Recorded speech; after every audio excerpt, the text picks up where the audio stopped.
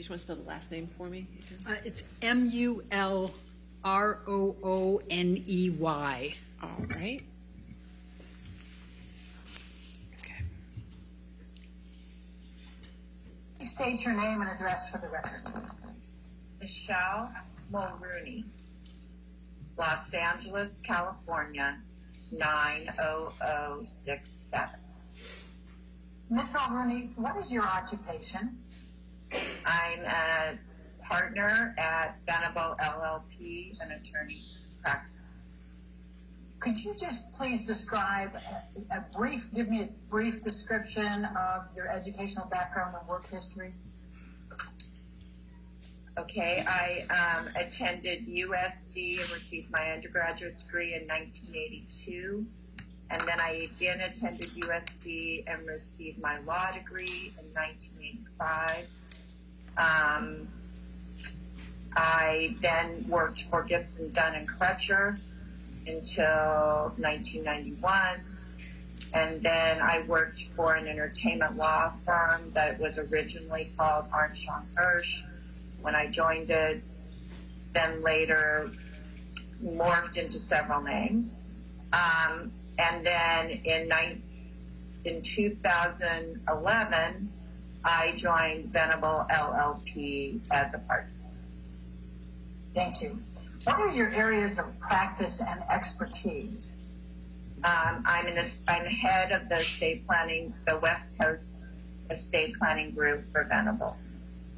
And does that estate planning involve any aspect of marital estate planning, such as things like prenups and postnups, prenuptials, postnuptials? Yes, we frequently do prenups, cohabitation, and postnup agreements for our clients. Would you please briefly describe what a prenuptial and a postnuptial is?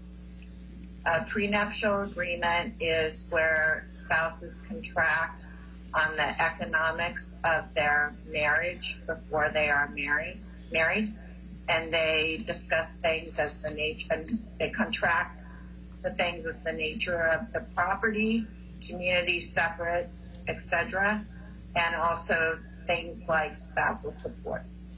And in a postnup, the clients do that after they're married. The same, they contract on the same issues. Do you regularly represent actors? Yes. Um, I'm asking very narrow, narrowly. Did there come a time when Amber Heard contacted you for representation respecting a prenup or a postnup agreement? At some point, I was contacted about an Amber Heard prenup. Ms. Mulrooney, I'm going to show you what has been marked as exhibit number three, and it's an email from you to a Dana Lowry. Do you know who Dana Lowry is? Yes. And could you please tell us who Dana Lowry is? She's a family law attorney practicing in Los Angeles.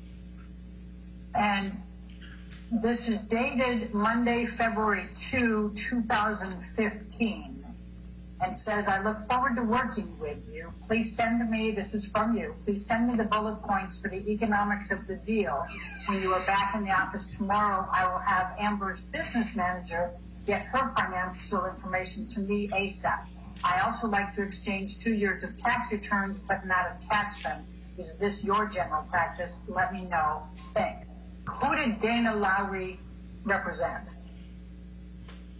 Johnny Depp. I take it Amber in, in the actual document is Amber Heard. Is that correct? Yes. Okay. And if, if I just direct your attention to the top of the email where it says February, get control. February 2, 2015. Uh, what, if anything, does this do to refresh your recollection on when approximately you uh, were contacted about representing Amber Heard in connection with the prenup? It makes the approximate date more clear to me. Okay. And based on this, when approximately were you contacted to represent Amber Heard in connection with the prenup or postnup? The early part of February, the late part of January or the early part of February 2015. Ms. Mulrooney, I'm going to ask you to take a look at what has been marked as exhibit number four. And it is a, uh, an email from you to Dana Lowry, which is Mr. Depp's counsel, correct? During this time period, correct. Um, and it's dated Tuesday, February 3. And I'm going to scroll down first so we get the earliest part of it. And the first part of it is an email from Dana Lowry to you, dated February 3rd at 1013, and says J slash A deal points. Do you know what J slash A means? I'm, I'm going to take you, first of all, to the bottom part, which is the J slash deal points. Do you have an understanding of what J slash A means? I, I believe it means Johnny slash Amber deal points.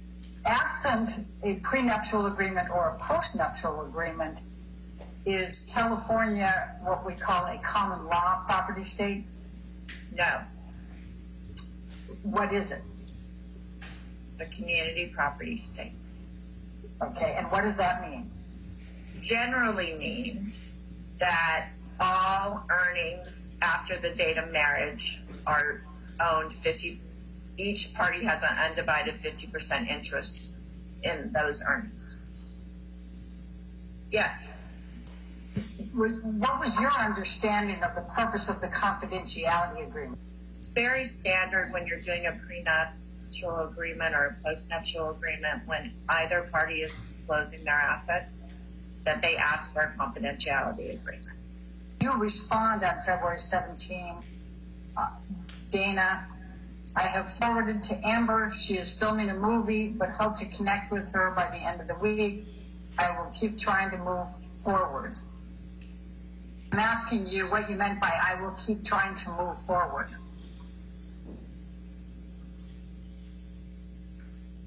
I assume I meant that we're trying to get a postnuptial agreement signed between the parties, and that's what I was hired for. To Show you what has been marked as exhibit number seven.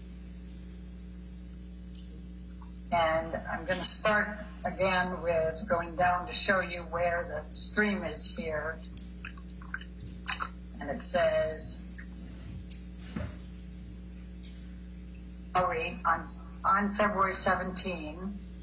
That's the same email we've seen a couple times now where she, she's attaching the confidentiality agreement, telling you she'll have a draft post-nup agreement, uh, but she's getting the, the uh, signed confidentiality agreement first. And then I'm going to direct your attention to the very top part, and that is Wednesday, February 18th. And you're, it's from you to Dana Lowry, and it says Amber is sending the signed confidentiality agreement to you, to me. I assume I will receive all the underlying financials and a list of anticipated future revenue streams and documentation pertaining thereto. What did you mean by underlying financials and a list of anticipated future revenue streams and documentation pertaining thereto? I mean, this is typical for an actor. They have profit participations, um, back ends. I wanted to have a list of what his future revenue would be. He might have had movies booked um, that he would render services after marriage. I just wanted to see the pro forma. What did you mean by back end? Back end is either profit participations or royalties. Um, sometimes it's box office bonuses. You just have to look at the underlying um, agreement on each movie, TV show, etc., to to track what the revenue will be from each project. And why is that relevant? I want to know what they're going to make during the marriage. I want to know the income during the marriage. And those are all components of what they make during the marriage? Correct. Okay, thank you. All right, and then you said, I can't really comment on the document until I get this information. What document were you referring to there? The post-nup agreement that I anticipated she would send.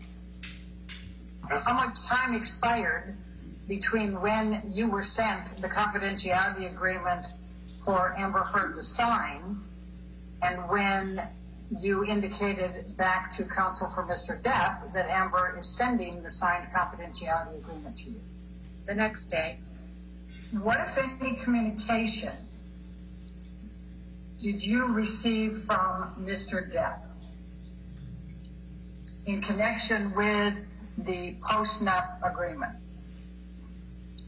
I received one telephone call.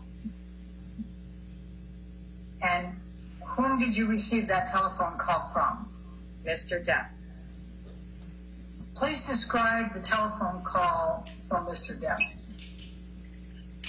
My recollection is that he was very mean, um, that he called me names, and that he fired me on behalf of them. When you say that he was very mean, what did you mean? Well, my only exact recollection is he called me a bitch. Mr. Depp called you a bitch on that telephone call? Hearsay, Yeah. leading. What, if any, observations did you make during the telephone call from Mr. Depp, during which time he called you a bitch? I thought he was under the influence. Why did you think that? He was slurring his words, and his speech pattern was similar to my children's speech pattern when they are when they were under the influence. I was just extremely rattled by the call. Mean, I was on the phone for a very short time with him because he was represented by counsel, and I was I didn't want to be rude and hang up, but I told him I had to hang up. Like after two or three minutes after I realized what was happening, it took me very off guard, and um, and I that's all I remember is that it really shook me up. After that phone call, did you perform any further services for Ms. Heard in connection with the postnuptial agreement? No, Do you recall ever seeing a, a postnuptial draft agreement? no, Has either Ms. Heard or Mr. Depp contacted you at any time after the call with Mr. Depp respecting pursuing a postnuptial agreement? no, Who, if anyone, was paying your legal services? I don't recall. Was it your understanding that Mr. Depp had the authority to fire you? No, Did you tell him that? I don't recall. And isn't it true that he wouldn't have had the authority to fire you even if he were paying for your legal services? True. True. What, if any, communications did you have with Dana Lowry about your conversation with Mr. Depp after the conversation with Mr. Depp? I don't recall specifically. What do you recall generally, if anything? I I do recall that I told her that I was no longer representing him. But I don't know if I did that in writing. Somehow she knew. But I, uh, and correct me if I'm wrong, but I believe you testified that M- Mr. Depp did not have the authority to fire you, correct? Correct. Ms. Mulrooney, when did your attorney-client relationship with Ms. Heard relating to a potential postnuptial agreement terminate? Shortly after that phone call. When you say shortly after that phone call, Uh, can you give us a time frame of how how long it was after the phone call? Within a few days, could be one. He didn't. Ha- he didn't have the power to fire you, correct? Correct. Do you have any recollection of ever receiving any more communications from Dana Lowry furthering the postnuptial agreement after Johnny Depp called you and told you he was firing you on behalf of Amber and called you names? No substantive. I recall that there was no more substantive conversations. Is there any question in your mind that it was Mr. Depp who called you? No.